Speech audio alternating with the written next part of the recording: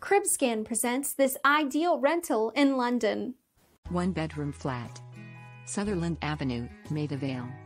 No reference slash admin fees newly redecorated one bedroom apartment set on the second floor within a period conversion located in the heart of Maida Vale.